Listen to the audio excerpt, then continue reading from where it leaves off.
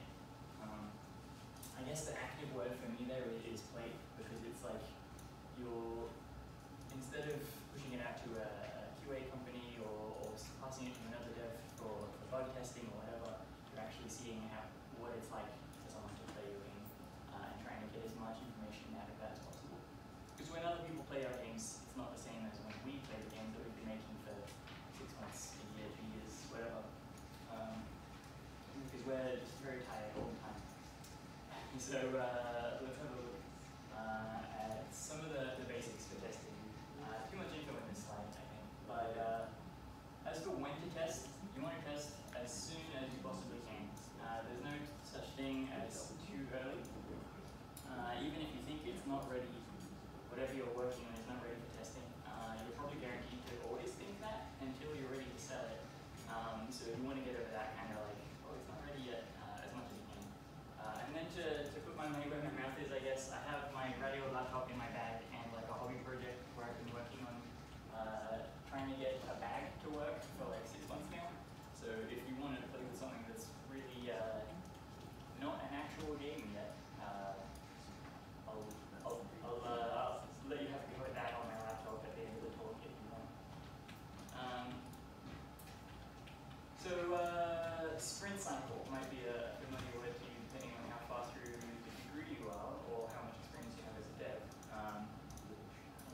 that's uh, kind of what this spiral model uh, is getting at.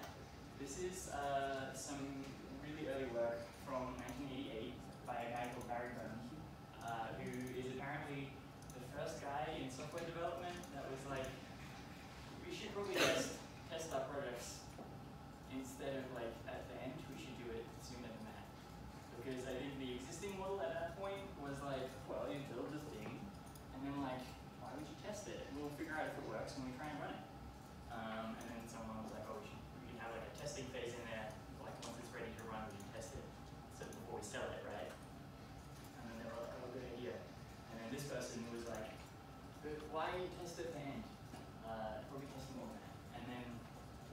because it was, I don't know if it's because it was the 80s or they didn't have like paint yet. I don't know. It looks pretty bad. But uh, it's got a lot of data in here and it's, it's relevant to like actual science and stuff. Um, but you start your project here where you plan out what you're going to do, you do some risk analysis, and then you prototype some of the really bare bones stuff, and then you test uh, roughly here, I think it is. Um, and that's before you even have like a, a concept of what it's going to do. You have some ideas, like a, a re- requirements, and then you're testing those with a pro- prototype that probably doesn't even run on the computer yet. Um, and then you go through this model where you start like planning the next phases, uh, reviewing how you're doing so far, going through some of the next steps, and you test it again, and it's like a spiral. I'm not saying to use this model, I'm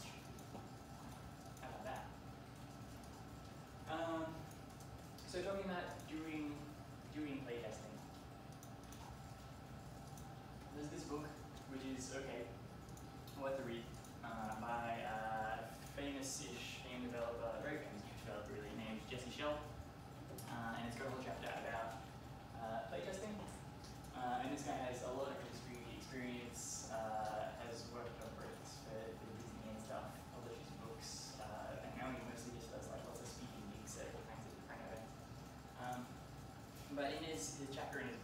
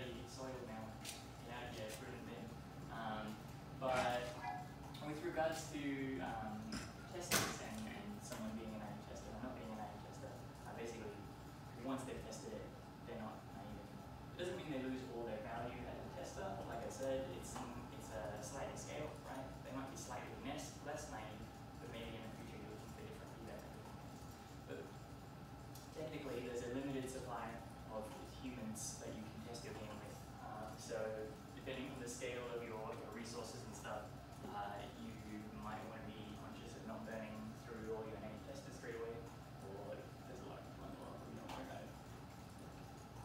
Um, other types of testers, other than naive testers. Uh, well, other people that you work with can be a tester for your game. Um, these folks are good at finding bugs uh, in a specific, in a very specific way. If you write out like a bug testing plan and then you get people in your team to run through it, uh, you'll catch a lot of stuff. But um, again, depending on your level of experience or uh, or even just the type of project it is, there's a good chance that you'll miss some obvious stuff like walking to the left when you start the game. Um, friends and family are good good testers as well, uh, and it's easy to pull them in because they like you, right? Um, but the side effect of the fact that your friends and family probably like you uh, means that they probably won't tell you why you suck and why your game sucks, uh, which is part of the reason we test, right? As as much as we might not like it, uh, you want to find out what is awful about the game, and if you get uh, if you get your best friend from childhood to test your game, they'll be like, oh, it's, it's really interesting. I love the art or, or whatever. They'll they'll protect your feelings. Um, again, doesn't mean they have no value as a tester. It just means it's a different type of tester. Uh, other devs that you know who are not on your team uh, are another really good source of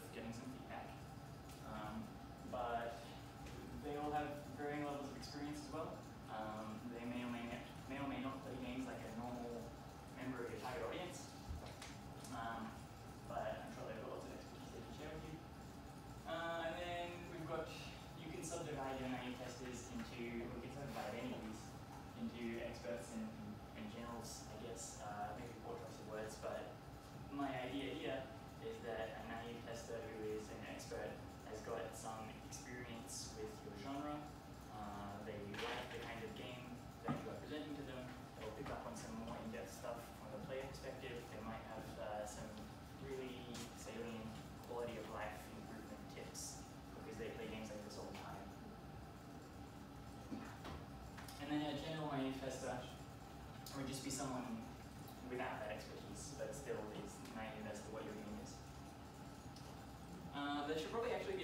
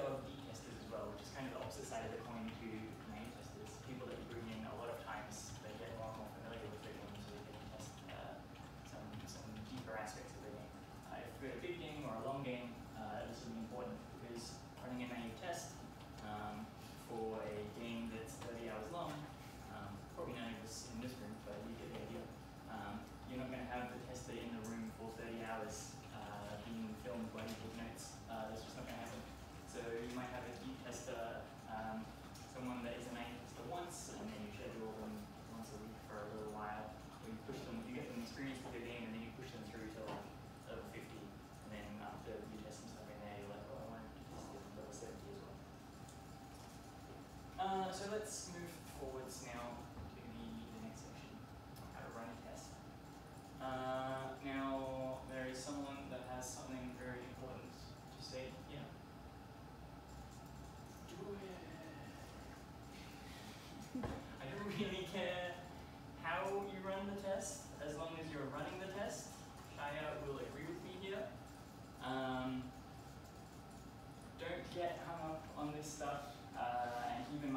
at the start as well, there's not necessarily a correct way to do it, there's lots of different ways of approaching the problem. As long as you are obeying um, meme overload and doing a test at some point, I am happy, right? And so just try it. Um, but let's run through the process anyway. So first, you want to introduce yourself to your tester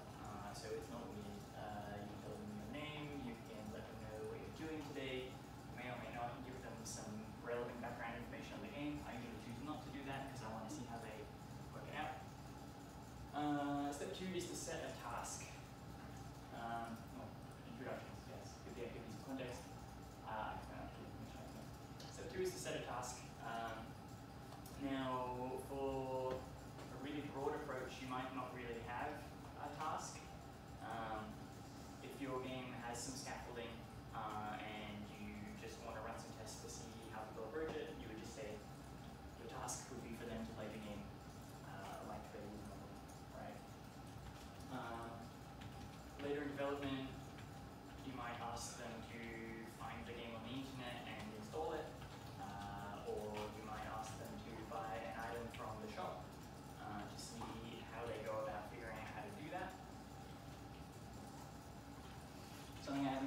slide is that even earlier in development, when you don't have the like, scaffolded introduction level or whatever, um, you, have a, you might have a task that's based around the stuff that is in your game so far. With my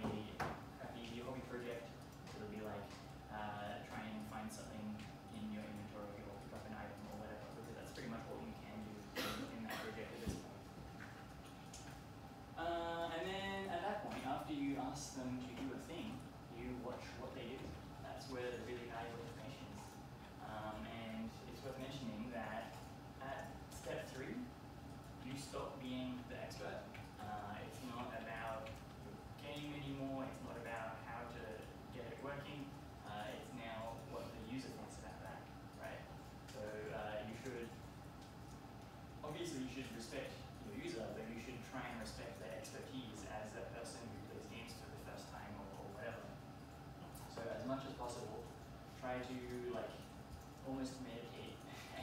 refer to everything, everything the user does and says is, is correct at this point. Um, a few exceptions. Uh, so when you're running a test, you should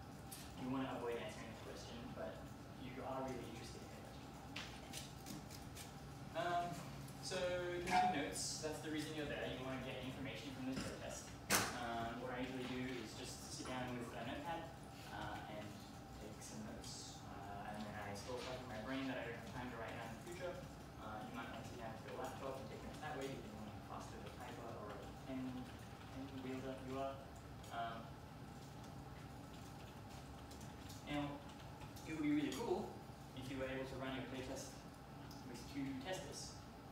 So the one person's in charge, they do all the talking, they say, I am this person, this is my colleague, I'm going to test today. The, the colleague is more or less completely silent, so they don't influence anything. Uh, but then if you've got two folks there, you can take two different categories of notes, right? One way that I've had good success with, uh, with dividing the roles, and this is what is writing down things that the player does. Uh, encountered bug, tried to jump, did not jump. Um, whatever, whatever they do. Uh, went straight to level 2, did not collect a bonus, whatever. Now, player thoughts uh, is your other known geekers category. Uh, and this is like the more kind of emotional side of things where it's like, player was frustrated,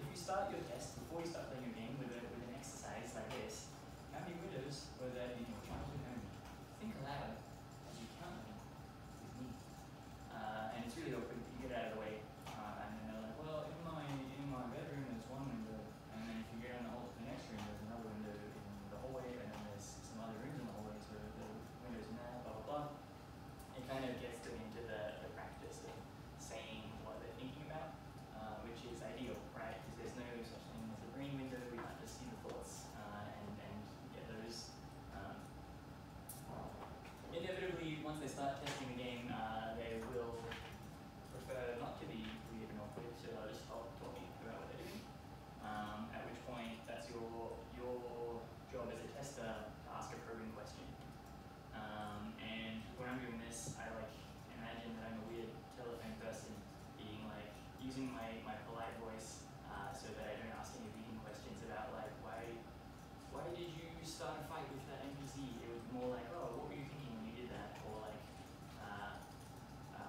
what's your what's your goal at this point, or like as as open questions as you can possibly do, using a telephone voice to avoid any like amusement or uh, accusatory tones or whatever. Uh, now this stuff is is super awkward, and there's a um, there's an argument against it, which is pretty valid. Uh, argument number one: I don't want to do that. That's weird. Uh, um, I prefer to do it because I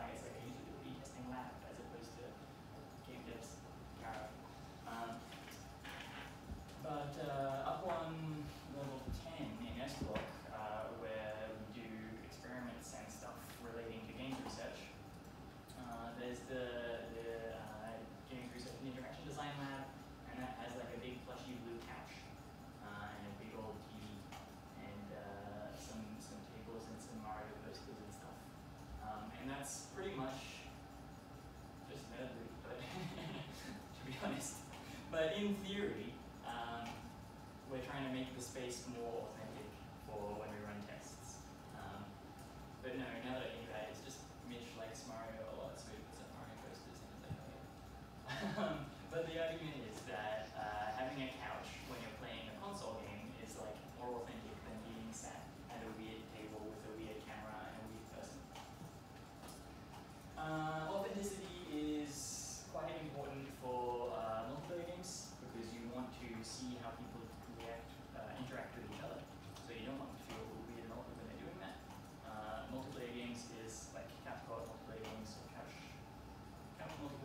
regard, it's cheap to think a lot of stuff because people interact with each other anyway. That's the dynamics doing that.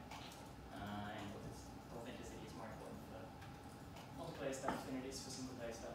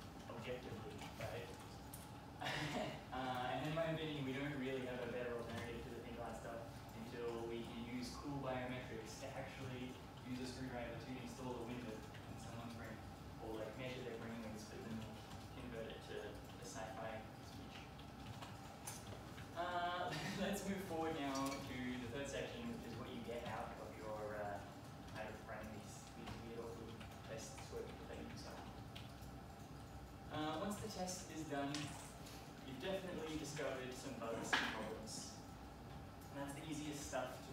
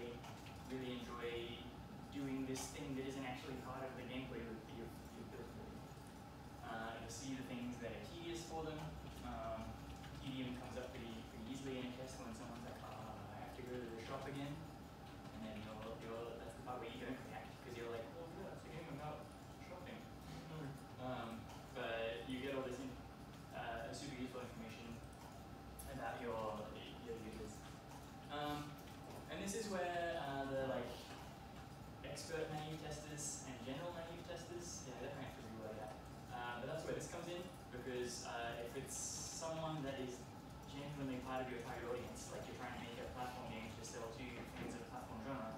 Um, they'll have lots of useful stuff to tell you about what actual platformer fans want. Uh, but if you're just testing with, um, with whoever's around, uh, then you'll pick up some stuff about just the, the broader audience as well, right? Things that um, are broadly applicable. Now, it is worth thinking about where you're sourcing your testers from uh, when I say broad audience here, I'm kind of referring to just anyone that's not part of your target market. But think about who you're testing with. Um, and the easy trap to, to fall into at the student level and at the like, local level is only testing with other people who also think Because uh, the type of feedback that you get from those folks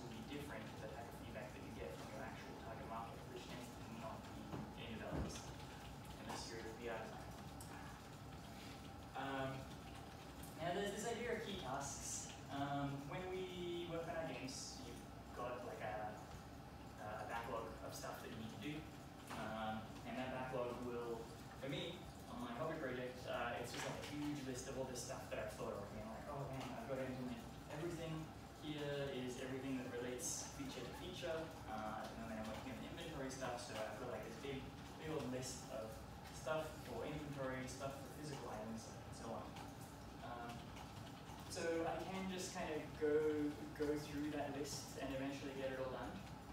Uh, but running these tests, uh, especially after I've been working on it for so long, running these tests helps me reassess um, what needs to be done sooner than other tasks, uh, what is actually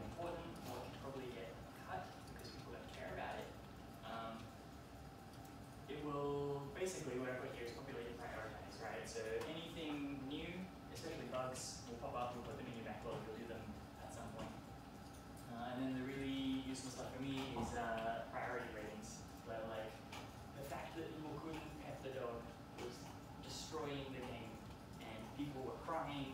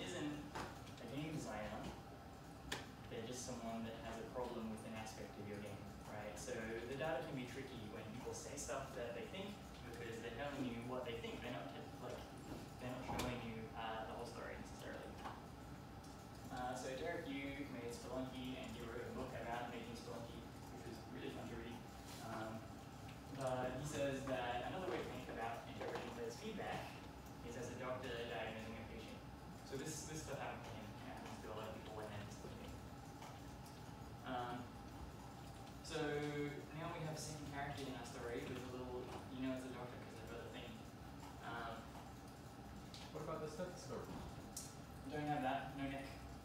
Um, so your patient comes to your doctor and they're like, I am sick with this disease, got the flu, got slime slammer." Um, and let's walk through two things that be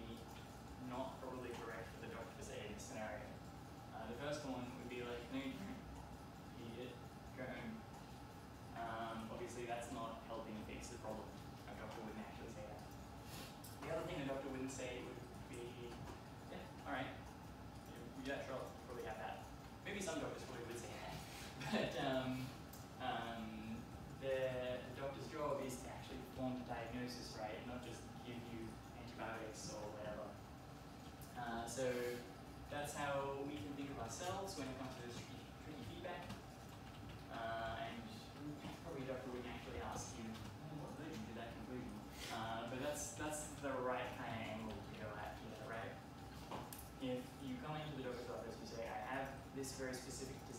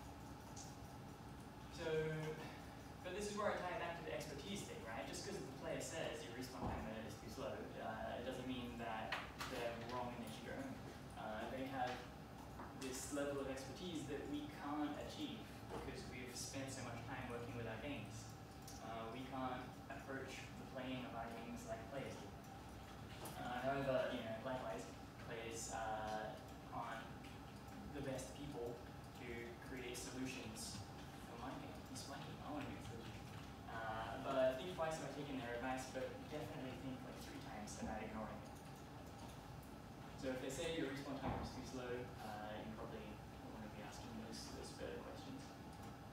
Uh, so that's um, that's the three blocks of the talk. Now we've got some, some bonus stuff to have a look at. Um, but there's heaps more to learn about testing, uh, playtesting and otherwise.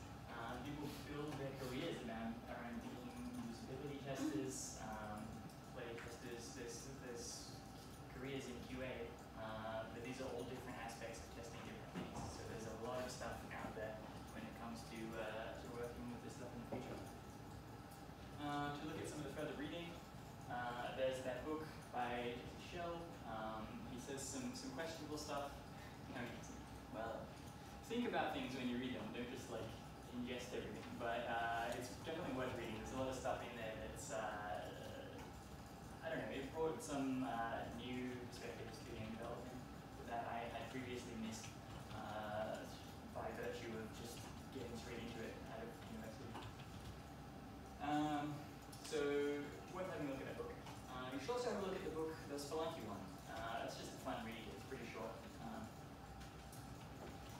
There's a, a video about trying very hard to make games that don't stink. That's pretty much. Uh, Valve gave a talk uh, for the GDC in 2009 about their approach to playtesting. Uh, another one of those ones where it's like not necessarily correct, it's worth thinking about what they're saying when they say it, but it's, it's, a, good, uh, it's a good watch. Uh, and there's a couple more articles uh, specifically about usability